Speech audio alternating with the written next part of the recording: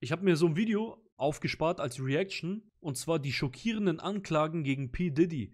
Ich weiß nicht, wer von euch das alles mitbekommen hat, aber P. Diddy wird ja gerade, wurde ja komplett auseinandergenommen. Ne? Der steckt in so einem richtigen Sex- und Misshandlungs-, Vergewaltigungs-, Erpressungs-, was weiß ich was Clan oder hat da so ein paar Sachen durchgezogen. Und es gibt da gerade richtig, richtig Probleme in seiner Ecke. Ich kenne diese Sachen nicht zu 100%, was da genau passiert ist, deswegen würde ich gerne jetzt mal dieses Video gemeinsam mit euch anschauen, ja. Aber die Anschuldigungen gegen, gegen P. Diddy sind ehrlich krass.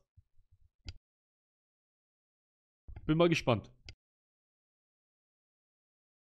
Good morning, everyone.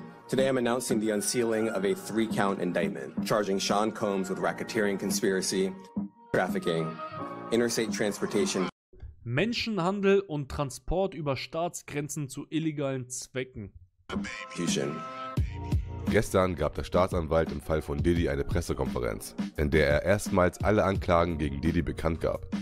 In der 14-seitigen Anklageschrift, die ich für euch durchgelesen und zusammengefasst habe, wird sehr schnell klar, dass es für Diddy kein Zurück mehr gibt. Er wird höchstwahrscheinlich für eine lange Zeit hinter Gittern sitzen und Millionen von Dollar verlieren. Diese Anklage ist so krass, dass ich sie sogar nur zensiert vorlesen kann, weil ich sonst gegen die YouTube-Richtlinien verstoße. As alleged in the indictment, to carry out this conduct, Sean Combs led and participated in a racketeering conspiracy that used the business empire he controlled to carry out criminal activity. Es beginnt mit dem ersten Anklagepunkt, in dem Diddy Erpressung vorgeworfen wird, da er über Jahrzehnte hinweg Frauen und andere in seiner Umgebung missbraucht, bedroht und zu verschiedenen Taten gezwungen haben soll, um seine Bedürfnisse zu befriedigen, seinen Ruf zu schützen oder sein Verhalten zu vertuschen. Also angeblich hat er ja riesige Partys geschmissen für Hollywood, äh, alle Musiker und was weiß ich was. Also da waren Stars und Sternchen waren immer dabei. Und bei diesen Partys sind dann gewisse Dinge vorgefallen, ja, und die nicht immer ganz sauber abliefen. Hat auf jeden Fall viel mit Sex zu tun und mit anderen Dingen. Und er hat wohl in jedem Zimmer dann auch versteckte Kameras installiert gehabt und hat im Nachhinein quasi die Leute mit diesen versteckten Aufnahmen erpresst und hat gesagt, ey, wenn du nicht das machst, was ich dir sage, werden diese Aufnahmen von dir öffentlich gemacht werden. Und da waren wohl halt dann sehr, sehr krasse Aufnahmen dabei, deswegen hat sich quasi jeder versucht, mit ihm gut zu stellen.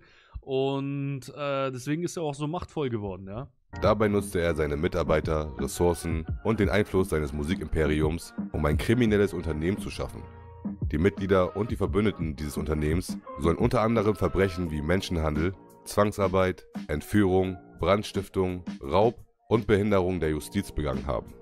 Weiter heißt es in Anklageschrift, dass Diddy Frauen emotional und körperlich braucht und sie gezwungen haben soll, an geplanten, ich sag mal, Essaktivitäten mit männlichen Essarbeitern teilzunehmen. Dafür sollen Diddy und seine Mitarbeiter Flüge und Hotels organisiert haben, um die Frauen und die Essarbeiter zu ihm zu bringen. Diddy sorgte dafür, dass die Frauen mitmachten, indem er ihnen illegale Substanzen gab, ihre Karrieren kontrollierte, ihnen finanzielle Unterstützung versprach und ihnen drohte, diese zu entziehen, wenn sie mal nicht gehorchten. Außerdem soll er Einschüchterung und Gewalt eingesetzt haben, um die Frauen an sich zu binden. The indictment alleges that between at least 2008 and the present, Combs threatened and coerced victims to fulfill his desires, protect his Warte mal, warte mal, wa- was, was, was, was? In der Anklageschrift wird behauptet, dass P. Diddy zwischen mindestens 2008 und heute Opfer bedroht und gezwungen hat. Achso, ich dachte, der hat 2008 Leute bedroht. and coerce victims to fulfill his desires, protect his reputation, and conceal his conduct. Laut der Anklage soll Diddy immer wieder Frauen geschlagen haben und dies soll sehr vielen bekannt gewesen sein. Seit mindestens Es gibt, glaube ich, sogar ein Video, da sieht man, wie eine Frau aus äh, dem Zimmer irgendwie rausrennt oder versucht aus der Wohnung von ihm rauszurennen. Und der rennt da mit so einem Bademantel aus dem Zimmer oder aus dem Badezimmer raus, rennt ihr hinterher und haut ihr voll eine gegen den Schädel und die kippt da um. Gibt ein Video davon, war, eine Weile, war vor einer Weile auch online, dieses Video. Ging überall durch Instagram, durch TikTok, durch Twitter, durch überall. Richtig krank. 2009 soll er mehrere Frauen angegriffen haben, indem er sie schlug, mit der Faust traf, sie zerrte, Gegenstände nach ihnen warf und sie trat. Einige dieser Übergriffe wurden von anderen beobachtet. Und ein Vorfall in einem Hotel in Los Angeles im März 2016 wurde sogar auf Video aufgenommen und später sogar öffentlich bekannt. Damit meinen sie sicher das geleakte Video von Diddy und Cassie, wo Diddy auf sie einschlug. The indictment alleges that Combs and exploited women and other people for years. Es heißt weiter, die Gewalt von Diddy soll sich nicht nur auf Frauen beschränkt haben. Auch Mitarbeiter, Zeugen und andere sollen Opfer von ihm geworden sein. Er soll sein Geschäft und bestimmte Mitarbeiter genutzt haben, um seine Taten auszuführen, zu ermöglichen und zu verbergen. Diese Mitarbeiter, wie beispielsweise Sicherheitskräfte, Haushaltsangestellte, persönliche Assistenten, hochrangige Vorgesetzte und andere enge Vertraute, sollen alle als Vermittler für Diddy fungiert haben. Besonders profitierte dabei, wer Loyalität gegenüber Diddy zeigte und bereit war, seine Verbrechen zu verbergen. The indictment alleges that Combs threatened and coerced victims to get them to participate in the freak-offs. Dann wird noch auf die sogenannten Freak-Offs eingegangen, die genauso beschrieben wurden, wie ich bereits in Part 2 von Diddy's Geheimnissen berichtet habe. In der Anklageschrift heißt es außerdem, dass diese Sessions teilweise so heftig waren, dass Diddy und seine Opfer nach diesen Freak-Offs eine Infusion erhielten, um sich von der körperlichen Anstrengung und dem Drogenkonsum zu erholen. Unglaublich. They also evidence Alter, was haben die denn da gemacht, Mann? Haben die da Gangbang mit einem Aff mit einem Elefanten gemacht oder was? Das ist wirklich, also ich würde echt gerne wissen, was dieses Freak-Off wirklich, wirklich bedeutet. Was haben die denn da alles für kranke Scheiße gemacht? Was muss denn da alles für kranke Scheiße passiert sein, dass sie danach noch Infusionen und gebraucht haben, um wieder klarzukommen? evidence of the freak-offs. Electronic devices that contain images and videos of the freak-offs with multiple victims. Schau mal, und es gab Bilder und Videos dieser Veranstaltungen mit mehreren Opfern. Der hat einfach Politiker und alle möglichen Leute in der Tasche gehabt, weil die bei solchen Orgien mitgemacht haben und dabei gefilmt wurden. Als Beweis für diese Vorwürfe wurden Gegenstände genannt, die bei der Durchsuchung von Diddy's Willen gefunden wurden. Denn dort wurden viele, sagen wir mal, Spielzeuge und über 1000 Flaschen Babyöl entdeckt. Außerdem wurden bei der Durchsuchung Tapes beschlagnahmt, die einige der Freak-Offs zeigen und somit die Vorwürfe bestätigen.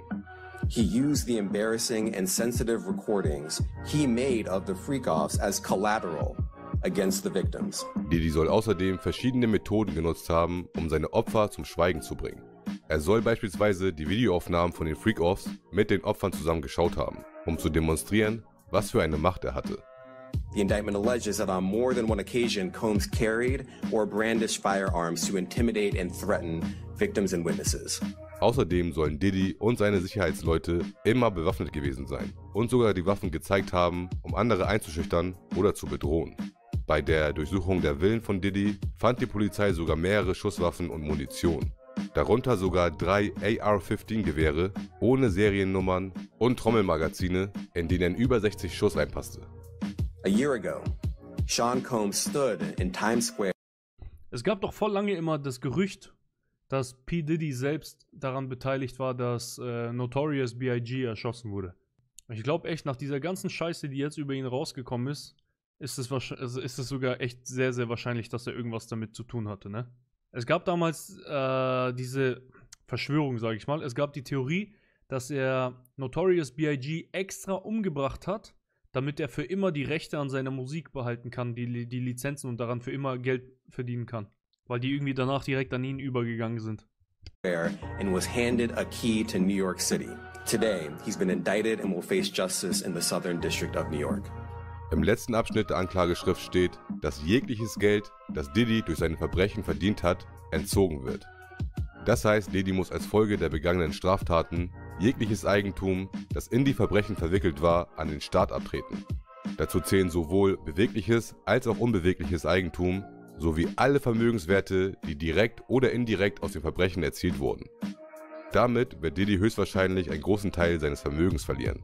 Denn da bei den Durchsuchungen seiner Häuser in Miami, Florida und Los Angeles viele belastende Gegenstände gefunden wurden, könnte es im schlimmsten Fall dazu kommen, dass die Behörden all diese Häuser beschlagnahmen. Alternativ könnten sie auch den Geldwert dieses Eigentums fordern. Das Einzige, was eine Beschlagnahmung verhindern könnte, wäre, wenn Diddy seine Vermögenswerte verkauft, sie verschenkt oder sie wertlos sind.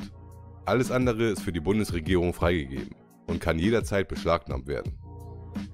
Am Ende wurden dann noch einmal alle Anklagepunkte aufgelistet, darunter Entführung, Raub, Beeinflussung von Zeugen, Zwangsarbeit und Menschenhandel.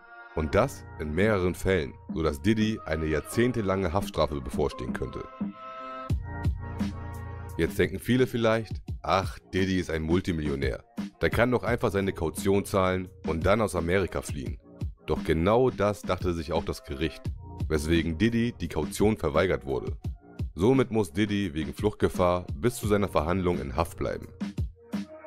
Ich werde natürlich weiterhin für euch dranbleiben und euch sofort updaten, wenn es neue News gibt. So ein kranker Typ, der Kollege, ne? Ich sag euch ganz ehrlich, was ein kranker Typ, Mann. Ich bin mal gespannt, wann die ersten Videos von diesen Freak-Offs im Internet geleakt werden. Glaubt mir, die werden geleakt. Irgendjemand wird irgendwann an diese Videos rankommen. Jetzt, wo die Leute wissen, dass diese existieren, werden die irgendwie an die rankommen. Weil, ich glaube, spätestens, wenn diese Videos irgendwie zur, zur Sicherung digitalisiert werden, ne? Wahrscheinlich sind die aktuell irgendwie auf Kassetten oder auf CDs, kann ich mir gut vorstellen. Sobald vielleicht die Polizei, die Staatsanwaltschaft, das Gericht oder so sagt, ey, pass auf, wir brauchen das irgendwie online, damit, äh, damit wir das gesichert haben, damit die Kassette oder so nicht kaputt geht. Sobald das irgendwie online kommt, wird irgendein Hacker seine Finger dran bekommen, seine Hände dran bekommen und wird es dann leaken. Und dann, glaube ich, werden wir eine ganze Menge kranke Scheiße im Internet dazu sehen. Das ist ehrlich krass. Bin mal gespannt.